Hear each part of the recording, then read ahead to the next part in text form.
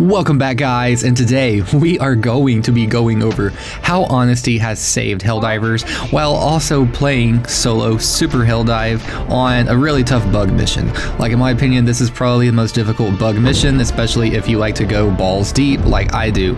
As, you know, no pun intended, we land right on top of the big bad nest. With, I mean, everything is going to be around you, so let's see if we actually make it through the first life. Oh, Survey says, that's pretty much how it's going to work. But going to the main point of this video, I'm just really trying to discuss access journalism. So if those of you are not really familiar with that term, some uh, some guys even like to call it toxic positivity. I like to call it meat rider, ass kisser, whatever you want to call because that's pretty much what it is. It's bias out, you know, between no bounds. Like there is just no limit to the type of bias this is. And the whole reason we like to call it this is because people just give positive reviews even though it just sucks ass. And they the reason they do it is because they do it in hopes that, you know, let's say the developer or the business will, you know, lock on to them and say, "Hey, this guy is giving positive reviews. Let's give him free handouts. Let's go ahead and give him, you know, some free content. That way, you know, we could benefit as a whole.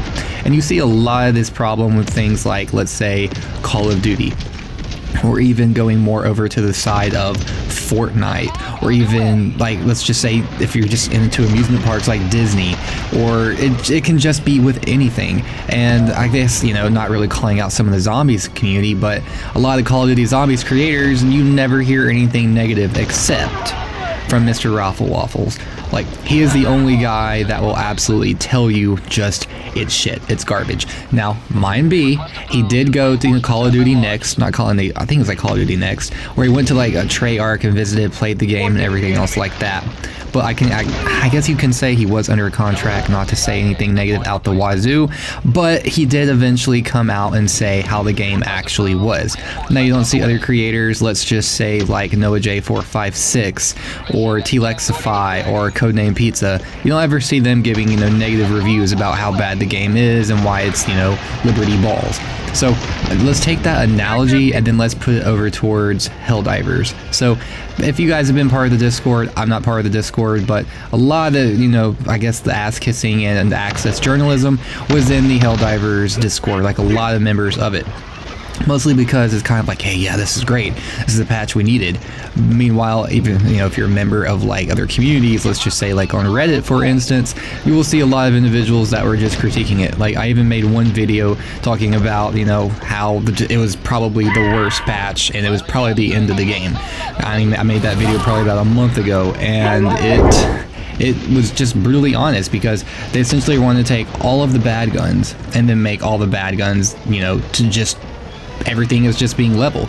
But, you know, equity is not equal. And so by making all the bad guns the same, they would think that would incentivize people to play with more bad guns. When in reality, that makes people not want to play the game at all.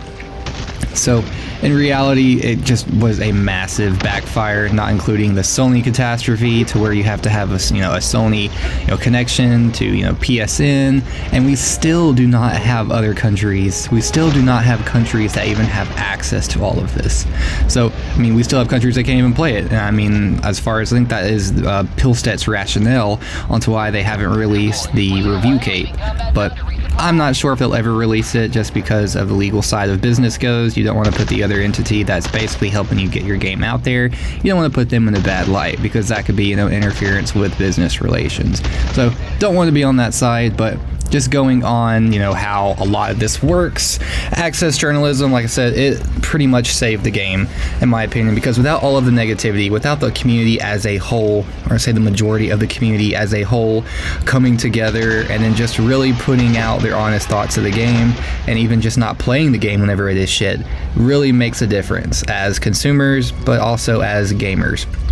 So that is one thing how I'm still kind of like amazed at this patch because it is so much fun. Like there's a reason we were at 9,000 players or 6, 7,000 players and then now like over the weekend it was like over 110,000 concurrent. Like you, that is That's insane. But it also speaks volumes as to saying, you know, how much people actually still love the game. Now, might not be able to love, you know, to play it all the time, but in the state of it right now, it is absolutely worth. Like, it has never felt this good in a very long time. Like, I'm talking about probably March, whenever they were coming out with the TCIS missions, or before they started, you know, making the spawns just absolutely ridiculous. Like, it is something that I'm just I'm just stoked about because it's kind of sucked not being incentivized to play Helldivers because, you know, nobody wants to play a game that's just not fun, that's not really rewarding. And then on top of that, they have this war bond out, I think it's like called Chemical Agents. And gas, and, you know, in addition, gas does disorient bugs. So that's pretty cool in of itself. Like it has a little bit more of a feature than it did before. Like before it was great, but now it also has something else working with it. But even on this difficulty, I mean, it's it, it's there, but it's not something that'll make or break the game. I just like using gas just, you know, as a bit of a crowd control. But yeah, it takes what, two thermites to kill a, a charger. It even takes somewhat about two in order to kill a bile titan, which is just a massive difference than what it was before. Like, oh, excuse me, before it was literally like in, just infinite. Like back when they had the grenade glitch, I would say in I'd say April. That was when like I think I put like on one video I think it was like 25 to 30 uh, thermites on there, but they ended up increasing like the damage on thermite from 20 to I think about a thousand. So that is one thing that is still pretty freaking impressive, and just the amount of buffs. Not even really hell, not even just the amount of buffs, the extent of each buff.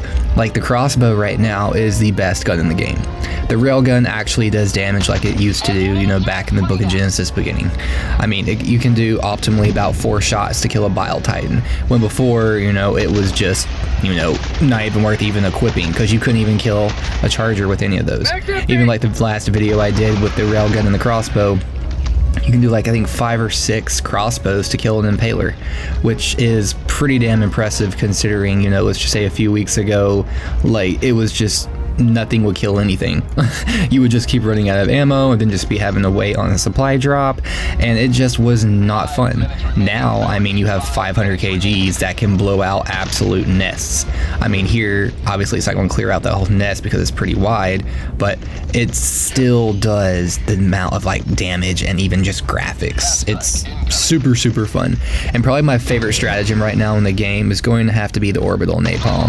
That damn thing looks so cinematic and and just the amount of damage for like the zone it does is insane. Like even you see like the 500 kg, just the graphics on that, and even hell, even just the zone of it. The blast radius used to just be such ass, and then now it's just it's just satisfying. Chef's kiss. This is a reminder of what we lost, you know, back when Helldivers before all their patches or all their nerfs. Like it's a reminder of what we actually lost, and it's something that I'm super excited because it's so I can see myself come home from work to play after a super long day at work something you know just mindlessly just playing without having to just think too hard and try to calculate what the best gun is. Because now all the guns are pretty damn good.